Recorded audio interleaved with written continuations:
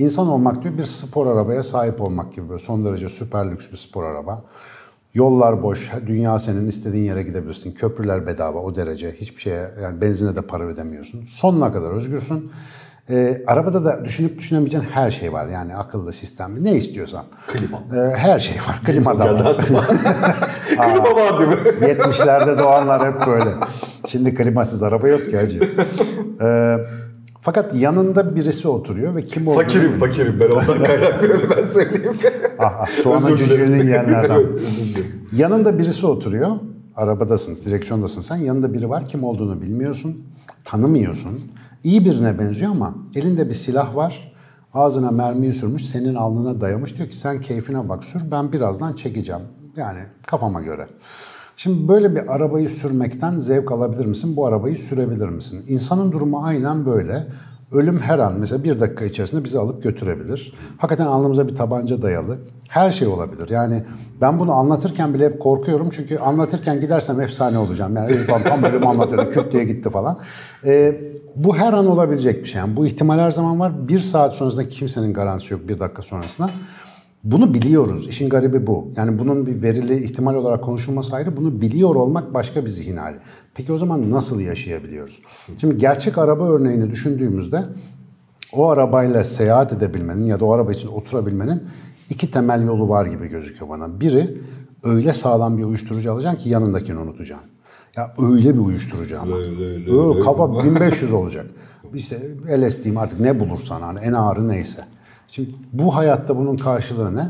Günlük hayatımızdaki her şey. Sosyal medyasından eğlencesine. İşte alkol uyuşturucu onlar ma- major şey yani çok uç versiyonlar. Her günkü hayatımızda yaptığımız, bizi meşgul eden her türlü faaliyet bir uyuşturucu gibi. Ve bu uyuşturucu o ölümü görmeni engellediği için o silahı bir şekilde orada varlığını devam ettirebilirsin, gaza basabilirsin. Arabada da cruise kontrol olduğunu düşün, yoldan çıkmıyor, uyuşturucu aldın ama bir şekilde rayda duruyor. O arabayı götürürsün. İkinci yolu ise şu gibi gözüküyor. Öyle bir yüce amaçla direksiyondasın ki, öyle bir hedefe varmak için gidiyorsun ki ve biliyorsun o arabayı senden sonra birisi alıp devam ettirecek. Bir metre gitsen bile kar biliyorsun. Ne kadar gidersen git o yolculuğun şerefli, kutlu, büyük bir amaca matuf olduğunu falan bilerek gidiyorsun. Böyle bir gazla.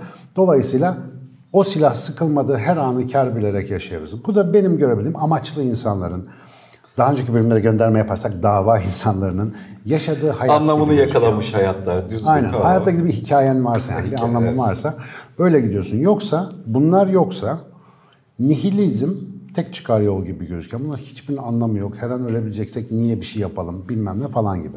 Dolayısıyla insan zihninin anlam ihtiyacı bile ölümden geliyor gibi gözüküyor. Evet. Yani ölüm varsa bir şekilde buna bir anlam vermen gerekiyor.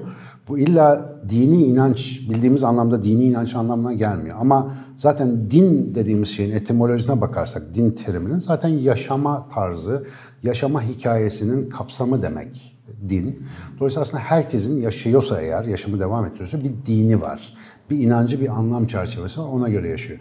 Şimdi ölüm temel düzeyde bizim ön beyni olan, ön beyni bu kadar gelişmiş bir canlı olduğumuz için sahip olduğumuz bir bilinç biçimi.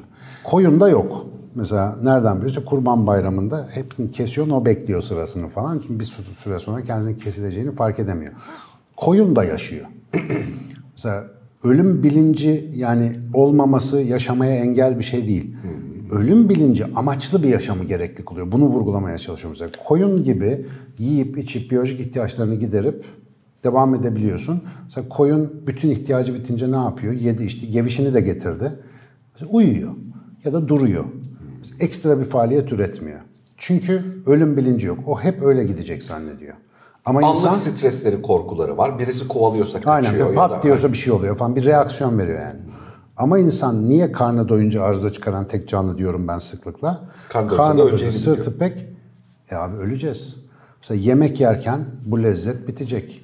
Bir şey içerken bu lezzet bitecek. Eğlenirken bu eğlence bitecek. Onun hepsinin biteceğini biliyor.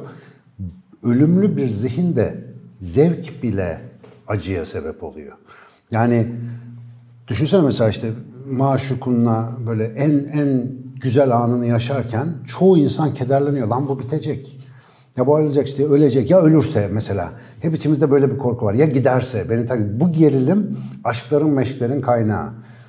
Ömür boyu sürmüş aşklar falan filan güzel gözüküyor ama okuduğumuz bütün hikayeler yarım kalmış aşklarla ilgili. Ölümü dinliyoruz. O aşkın ölümünü dinliyoruz. Bir şeyin kesilmesini dinliyoruz. Yani bir şeyin sonunun olması onu bizim için çok manidar yapıyor. Bir şey gibi bu. Lanet gibi gözükse de insanı insan yapan, o spor arabayı spor araba yapan şey aslında o silah. O, o olayı nasıl diyeyim yaşamaya değer kılan şey o ölüm fikri gibi gözüküyor bana. Ee, en azından böyle görmeyi seviyorum. Benim de hikayem bu galiba. Yani bu şekilde anlam vermezsen olay garip. Ha bu arada biyolojide niye ölüm var onu söylemeyi unuttum. Ee, oradan girmiştim. Ee, ama dediğim gibi bu program bitmez dediğim oydu. Çok şey çağrıştırıyor.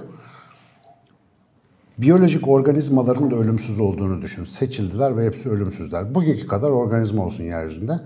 Bir organizma sürekli olarak hayatta kalırsa kendi içerisinde özelliklerini genetik yapısı gereği çok fazla değiştiremeyeceği için ortam şartlarının değişikliklerine adapte olması çok kısıtlı kalacak. Ve marjinal bir değişiklik olduğunda o canlılar ortadan kalkacak ve sonuçta canlılık fikri ortadan kalkacak.